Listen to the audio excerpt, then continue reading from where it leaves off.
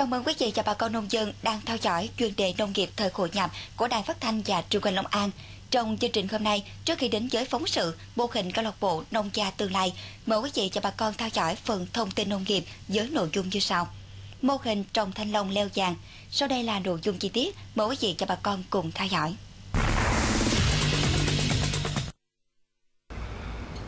Tháng 5 năm 2014, nhóm tiến sĩ, thạc sĩ, kỹ thuật của Viện Cây ăn quả miền Nam đã thiết kế mô hình trồng thanh long leo vàng. Mô hình được thiết kế theo kiểu dạng chữ T, cao 1,3 m, cây cách cây khoảng 4 tấc, hàng cách hàng 3 m. Dây thanh long sau khi cao tới mặt trụ thì được tạo cành cho phát triển qua hai bên theo dàn. Các cành này được buộc cố định để không va chạm vào nhau khi gió mạnh, tránh được cành trái xay sát. Sau gần 2 năm thực hiện, mô hình trồng thanh long leo vàng đã phát huy được nhiều ưu điểm so với trồng trên trụ theo truyền thống trước đây. Ưu điểm của cái kiểu trồng này là so với kiểu trồng cũ là các cái cành khi mình trồng thì mình có quản lý cái ờ, các cái hướng mà phân ờ, hướng mà để mình phân cành thì ờ, khi mà mình kiểm soát được cái hướng mà phân cành thì các cái cành nó đều nhận được cái ánh sáng và cái điều kiện nó quang hợp thì nó sẽ tốt hơn so với kiểu trồng truyền thống của mình thì khi đó thì cái ờ, các cái ờ, cành này nó sẽ cho ra trái đồng loạt hơn và cái ờ, trái nó sẽ chất lượng trái nó sẽ đồng đều hơn. So với kiểu trồng cũ của mình là à, mình trồng theo cái kiểu trồng cũ thì à, hầu hết thì chỉ những cái cành ở phía ngoài khoảng 10 đến 20 phần trăm cái cành ở ngoài nó nó nó nhận ánh sáng thì nó cho ra qua à, ra trái. Thì trong cái cái kiểu mà trồng mới theo cái kiểu vàng này thì nó một cái, cái thêm một cái ưu điểm nữa là à, các cái cành nó đều được phân phân bố đều hết trơn thì à, chúng ta có thể là quan sát được những cái cành nào là bệnh à, ở cái giai đoạn sớm. Chúng ta có thể phân quan sát được cái giai đoạn sớm và à, khi đó thì chúng ta có thể là áp dụng những cái biện pháp quản lý à, à, sau bệnh hại nó kịp thời. Nó không có như cái kiểu trồng cũ của chúng ta là những cái cành phức ở bên trong thì khi nó bị bị sâu bệnh hại nó bị phức ở trong chúng ta không có quan sát được. Khi chúng ta phun thuốc thì đi theo hàng này chúng ta phun hai bên một một một lần đi thì chúng đi một bên một một phía rồi sau đó cũng đi lại ngược lại một phía nữa thì tất cả các cành nó đều được được uh, phun thuốc trên cành hết. Trong khi cái kiểu trồng cũ chúng ta khi chúng ta phun thuốc thì hầu chỉ phun những cái cành ngoài thôi. Những cái cành trong thì nó không có một số cành thì nó không có tiếp xúc được với cái lượng thuốc mà chúng ta phun để phòng trừ sâu bệnh hại. Thì uh, hiện tại thì ờ, cái theo cái uh,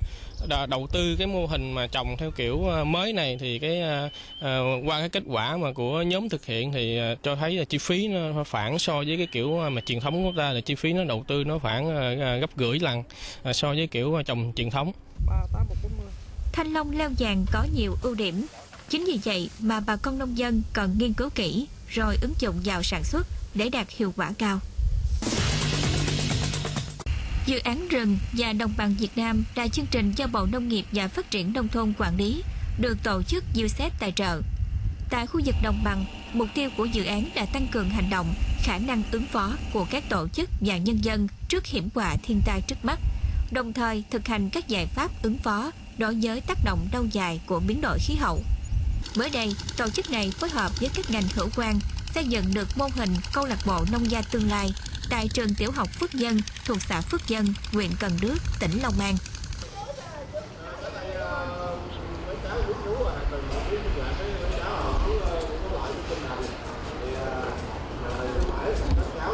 Sau một thời gian chuẩn bị, câu lạc bộ ra đời và đi vào hoạt động với khoảng 36 em học sinh của hai khối trường lớp 4 và lớp 5. Vì câu lạc bộ hoạt động theo hình thức mở nên có thời điểm lên đến 40 em học sinh tham gia. Mục đích mà câu lạc bộ hướng đến là trang bị cho các em kiến thức và kỹ năng cơ bản về nông nghiệp an toàn,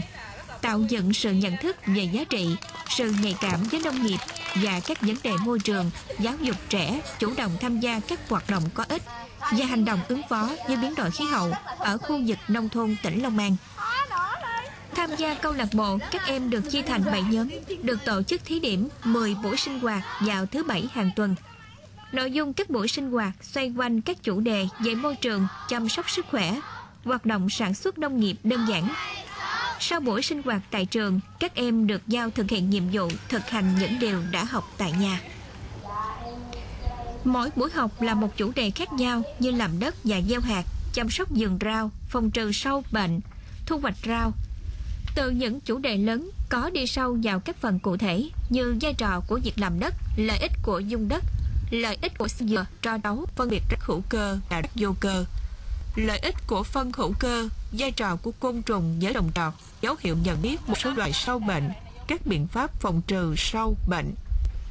Học đến đâu, thực hành đến đó, bảy nhóm tự trồng bảy luống rau, bao gồm rau muống, rau dền, đậu đũa, đậu xanh và đậu bắp. À, chào cháu Như, à, cháu cho chú à, biết là cháu tham gia câu lạc bộ nông gia tương lai đó cháu có thích hay không? Và khi mà cháu tham gia vào câu lạc bộ này đó thì cháu được anh chị phụ trách hướng dẫn cho mình những gì? Dạ cháu rất thích tham gia các câu lạc bộ này. Và khi tham gia câu lạc bộ này các anh chị phụ trách đã hướng dẫn cho cháu làm à, đất và tưới nước gieo hạt trong quá trình mà con thực hành đó thì con về nhà cũng như con ở trường thì con à, trồng những cái cây gì và trong cái tham gia hội chợ vừa rồi đó con đem cái sản phẩm của con là sản phẩm gì để tham gia hội chợ Dạ, thì à, ở trong đây cũng như ở nhà là con có trồng rau muống, đậu xanh và đậu đỏ, rồi đậu bún. Thì trong đợt hội chợ vừa rồi con có làm một sản phẩm đó là làm giá. Dạ, giá này con làm được 4 ngày và khi trong quá trình làm và lúc đầu là con ngâm hạt giống là ngâm từ 6 tới 7 tiếng. Sau đó cái khăn này con sẽ nhúng, nhúng ướt.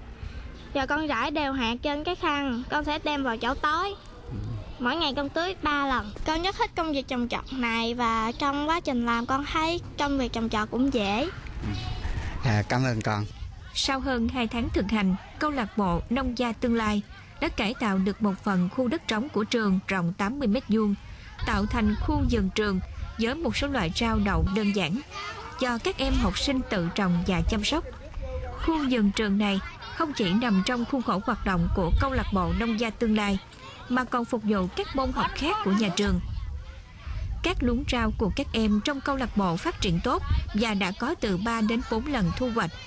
Các em được mang sản phẩm về nhà để báo cáo với ba mẹ. Từ sân chơi này đã giúp cho các em làm quen và yêu thích lao động trồng trọt. Cháu à, cho chú biết là cháu tham gia vào cái câu lạc bộ nông gia tương lai đó. Thì cháu được à, các anh chị phụ trách là hướng dẫn cho cháu trồng mấy loại cây và trong đó thì cháu thích nhất là trồng loại cây nào? Là các anh chị hướng dẫn cho con trồng 7 loại cây và con thích nhất là trồng à, cây rau muống vì sao con lại thích ờ, trồng cây rau muống? Vì vì cây rau muống có thể giúp ích là bồi bổ vitamin C chất khoáng chất xơ. Là trồng rau muống cũng không khó cũng không khó lắm. Trồng um, rau muống là mới đầu là ngâm ngâm hạt giống khoảng 6 đến 7 tiếng. Um, rồi um, trải đều trải đều ra xong rồi cái um, lắp sơ dừa rồi xong rồi tưới nước lên. Um, rau muống này của lớp con một ngày uh, con con tưới vào sáng với với chiều tưới khoảng hai lần. Trồng tốt như như vậy là nhờ các bạn cực khổ trồng và và mỗi ngày phân chia từng từng tổ để tưới. Con có dự định là sau này lớn lên con sẽ làm nhà nông hay không? À, nhà con cũng có làm nông nghiệp trồng lúa. Và con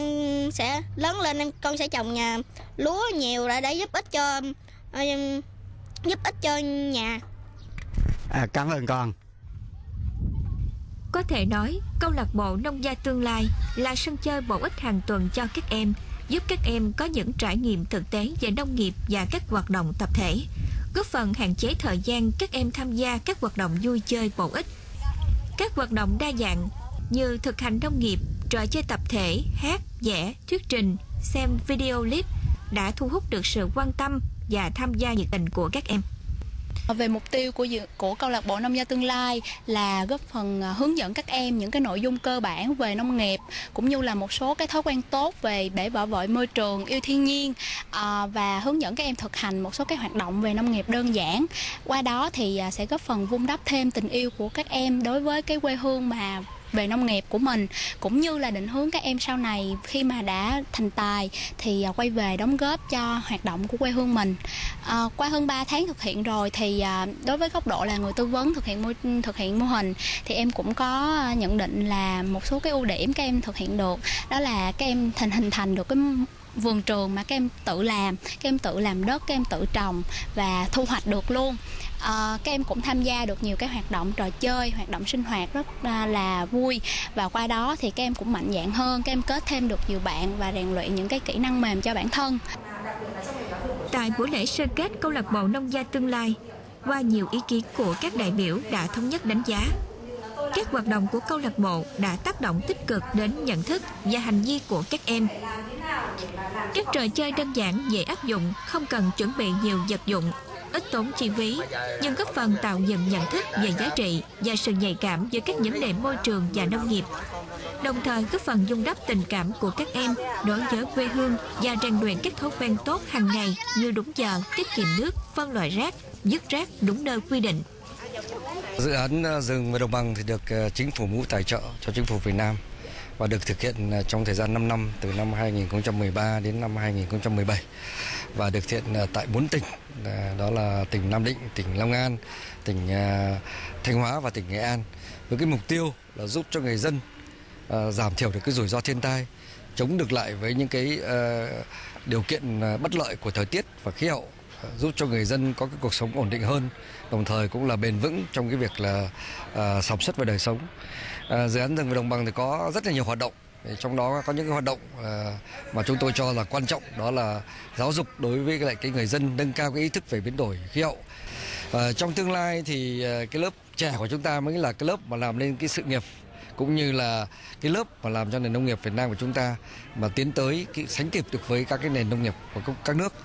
À, chúng tôi cho rằng là cái hoạt động liên quan đến thành lập cái câu lạc bộ và sinh hoạt cái câu lạc bộ của à, cái câu lạc bộ nông gia tương lai của Phước Vân đó là một cái sáng kiến rất là mới của trung tâm khuyến nông à, của Long An và các cái buổi sinh hoạt mặc dù là, là nó chỉ gói gọn trong khoảng 10 buổi nhưng mà đã giúp cho các cái học sinh có được cái kiến thức rất là uh, sơ khai rất là là là, là uh, kiến thức cơ bản liên quan đến một số cái cây trồng liên quan đến giống liên quan đến phân bón liên quan đến uh, tưới nước chẳng hạn. Uh, và các uh, cháu nó cũng có được cái việc là thân thiện với môi trường nhiều hơn và nó đáp ứng được cái nhu cầu của chúng tôi. Đó là giúp cho người dân nâng cao được cái nhận thức về biến đổi khí hậu trong đó đặc biệt là trẻ em.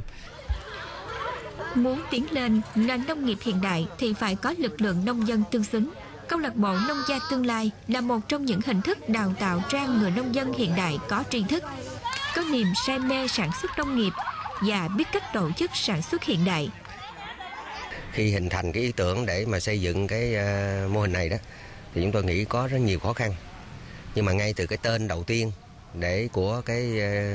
cái cái mô hình này tức là câu lạc bộ nông gia tương lai nó cũng đã nói lên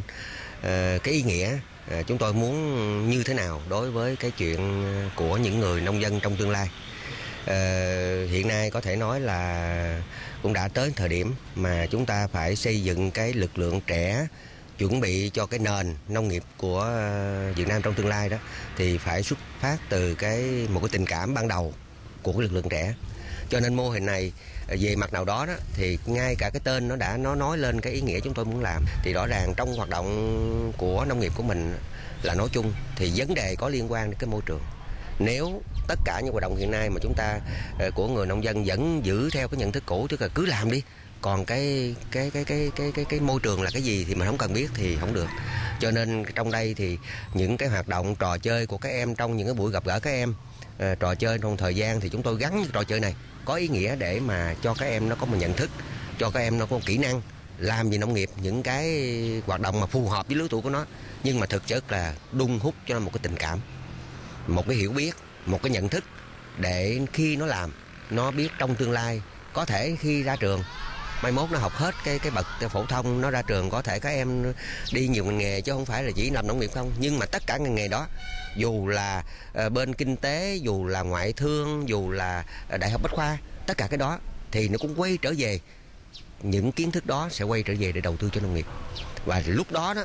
thì rõ ràng ý chúng tôi muốn đặt vấn đề nông dân tương lai là như vậy.